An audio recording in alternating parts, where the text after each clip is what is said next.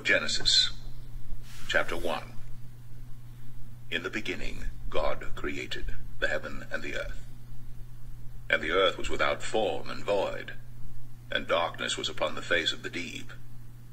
And the Spirit of God moved upon the face of the waters. And God said, Let there be light. And there was light. And God saw the light that it was good. And God divided the light from the darkness. And God called the light day, and the darkness he called night. And the evening and the morning were the first day. And God said, Let there be a firmament in the midst of the waters, and let it divide the waters from the waters. And God made the firmament, and divided the waters which were under the firmament from the waters which were above the firmament was so. And God called the firmament heaven. And the evening and the morning were the second day.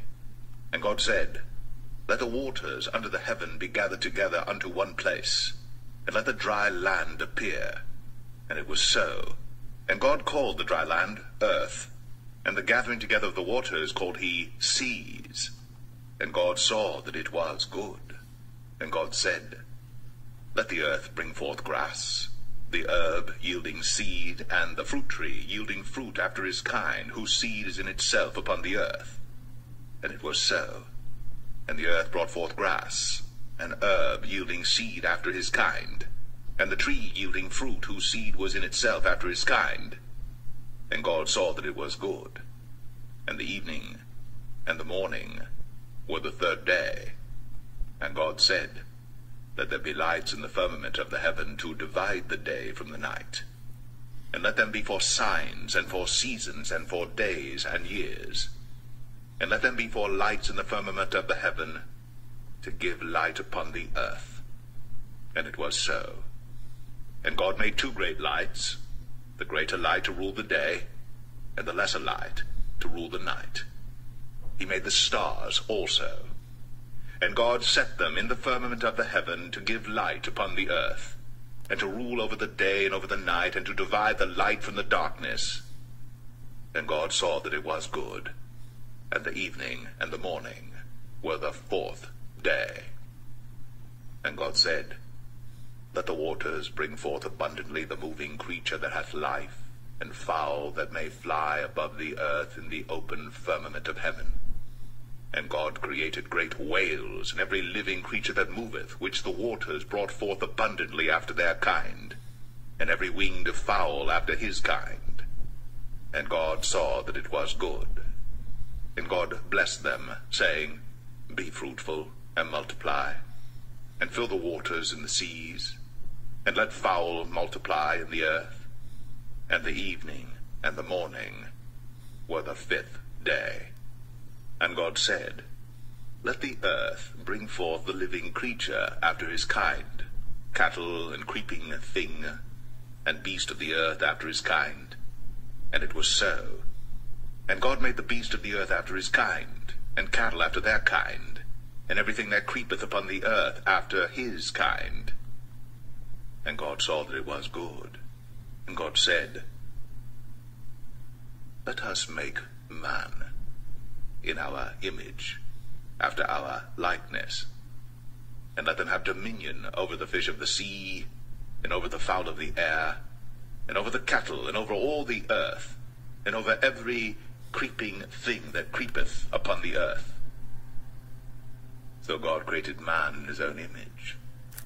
In the image of God created he him, male and female created he them. And God blessed them. And God said unto them, Be fruitful, and multiply, and replenish the earth, and subdue it, and have dominion over the fish of the sea, and over the fowl of the air, and over every living thing that moveth upon the earth.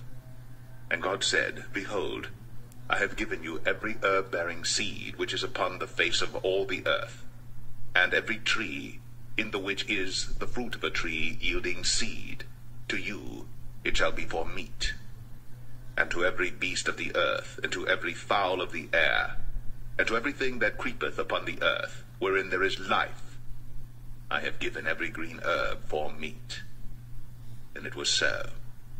And God saw everything that he had made, and behold, it was very good. And the evening and the morning were the sixth day.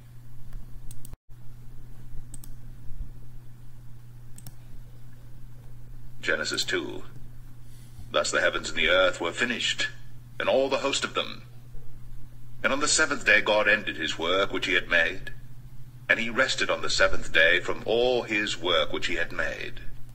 And God blessed the seventh day, and sanctified it, because that in it he had rested from all his work which God created and made. These are the generations of the heavens and of the earth when they were created, in the day that the Lord God made the earth and the heavens. And every plant of the field before it was in the earth, and every herb of the field before it grew.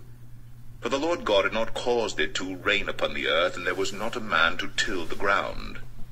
But there went up a mist from the earth, and watered the whole face of the ground. And the Lord God formed man of the dust of the ground, and breathed into his nostrils the breath of life, and man became a living soul. And the Lord God planted a garden eastward in Eden, and there he put the man whom he had formed.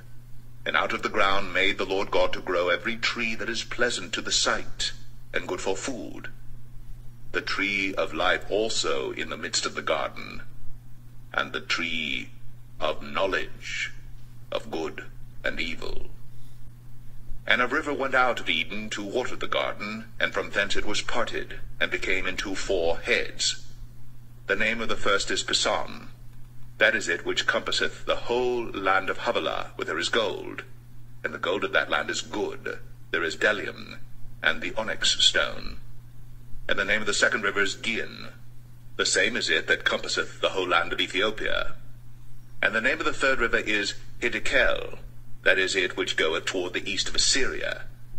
And the fourth river is Euphrates. And the Lord God took the man, and put him into the Garden of Eden to dress it, and to keep it. And the Lord God commanded the man, saying, Of every tree of the garden thou mayest freely eat, but of the tree of the knowledge of good and evil Thou shalt not eat of it, for in the day that thou eatest thereof, thou shalt surely die. And the Lord God said, It is not good that the man should be alone. I will make him an help meet for him. And out of the ground the Lord God formed every beast of the field and every fowl of the air, and brought them unto Adam to see what he would call them. And whatsoever Adam called every living creature, that was the name thereof. And Adam gave names to all cattle, and to the fowl of the air, and to every beast of the field. But for Adam there was not found an helpmeet for him. And the Lord God caused a deep sleep to fall upon Adam, and he slept. And he took one of his ribs, and closed up the flesh instead thereof. And the rib which the Lord God had taken from man made he a woman and brought her unto the man.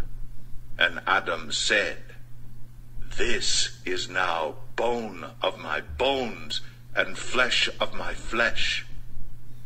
She shall be called woman, because she was taken out of man. Therefore shall a man leave his father and his mother, and shall cleave unto his wife, and they shall be one flesh.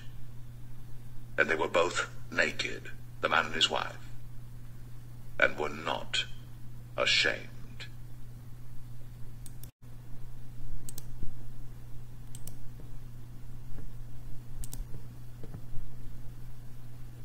The Gospel according to Matthew, chapter 1. The book of the genealogy of Jesus Christ, the son of David, the son of Abraham. Abraham was the father of Isaac, and Isaac the father of Jacob, and Jacob the father of Judah and his brothers, and Judah the father of Perez and Zerah by Tamar, and Perez the father of Hezron, and Hezron the father of Ram, and Ram the father of Amminadab, and Amminadab the father of Nahshon, and Nahshon the father of Solomon, and Solomon the father of Boaz by Rahab, and Boaz the father of Obed by Ruth, and Obed the father of Jesse, and Jesse the father of David, the king. And David was the father of Solomon by the wife of Uriah, and Solomon the father of Rehoboam, and Rehoboam the father of Abijah, and Abijah the father of Asaph, and Asaph the father of Jehoshaphat, and Jehoshaphat the father of Joram, and Joram the father of Uzziah, and Uzziah the father of Jotham, and Jotham the father of Ahaz, and Ahaz the father of Hezekiah, and Hezekiah the father of Manasseh, and Manasseh the father of Amos, and Amos the father of Josiah, and Josiah the father of Jeconiah and his brothers, at the time of the deportation to Babylon.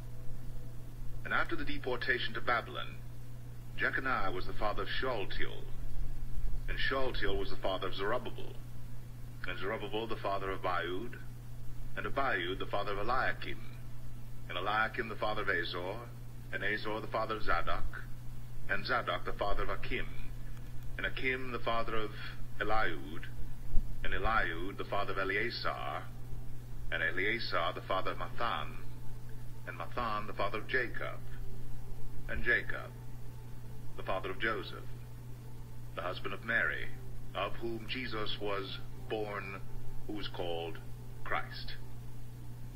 So all the generations from Abraham to David were 14 generations, and from David to the deportation to Babylon, 14 generations, and from the deportation to Babylon to the Christ, 14 generations. Now the birth of Jesus Christ took place in this way. When his mother Mary had been betrothed to Joseph before they came together, she was found to be with child from the Holy Spirit and her husband Joseph, being a just man and unwilling to put her to shame, resolved to divorce her quietly. But as he considered these things, behold, an angel of the Lord appeared to him in a dream, saying, Joseph, son of David, do not fear to take Mary as your wife, for that which is conceived in her is from the Holy Spirit. She will bear a son, and you shall call his name Jesus, for he will save his people from their sins. All this took place to fulfill what the Lord had spoken by the prophet. Behold, the virgin shall conceive and bear a son, and they shall call his name Emmanuel, which means God with us. When Joseph woke from his sleep, he did as the angel of the Lord commanded him. He took his wife, but knew her not until she had given birth to a son, and he called his name Jesus. Matthew 2. Now after Jesus was born in Bethlehem of Judea in the days of Herod the king, behold, wise men from the east came to Jerusalem, saying, Where is he who has been born king of the Jews? For we saw his star when it rose, and have come to worship him. When Herod the king heard this, he was troubled, and all Jerusalem with him, and assembling all the chief priests and scribes of the people, he inquired of them where the Christ was to be born. They told him, in Bethlehem of Judea, for so it is written by the prophet, And you, O Bethlehem, in the land of Judah, are by no means least among the rulers of Judah, for from you shall come a ruler who will shepherd my people Israel.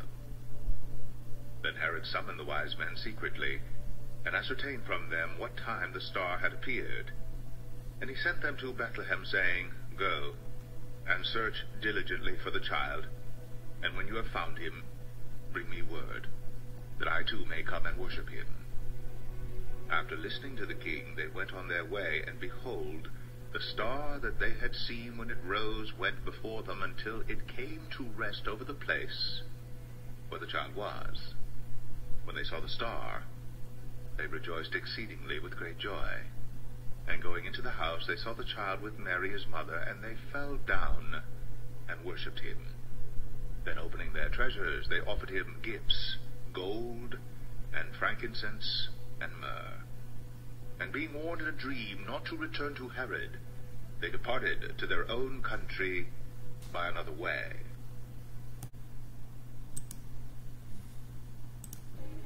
The Book of Psalms, Psalm 1.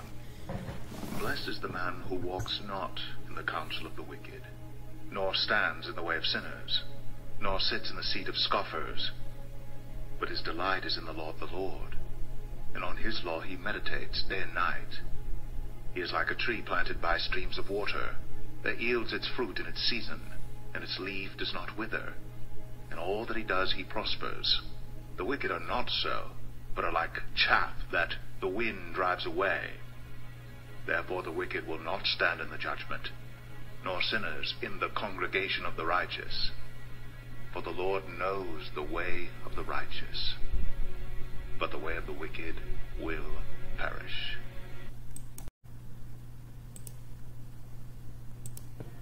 The Book of Proverbs, Chapter 1 The Proverbs of Solomon, son of David, King of Israel.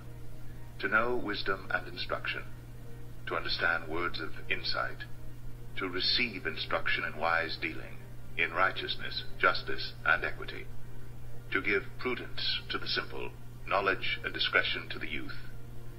Let the wise hear, and increase in learning, and the one who understands obtain guidance. To understand a proverb and a saying, the words of the wise and their riddles. The fear of the Lord is the beginning of knowledge. Fools despise wisdom and instruction.